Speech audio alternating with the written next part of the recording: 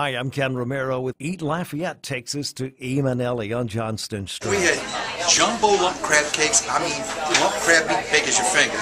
Seafood crepes, smoked shrimp and crab meat crepes with a roasted pepper cheddar cheese cream sauce to die for.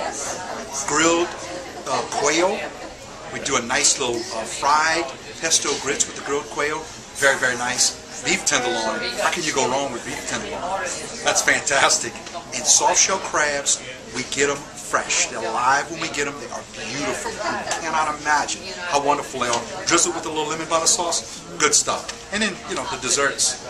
You have to roll you out in the wheelbarrow. We'll take care of you with those desserts. Uh, chocolate lava cake served in a raspberry sauce. Homemade white chocolate bread pudding topped with a warm rum sauce. Frangelica parfait, it's a hazelnut mousse swirled with chocolate and topped with chopped pecans. Have a yummy pie. It's a pecan crust with a layer of sweetened cream cheese, chocolate mousse, whipped topping, and chopped pecans. Remember to eat Lafayette and register to win a cruise for two from Travel Machine. And be sure to visit eatlafayette.com for a complete list of participating restaurants.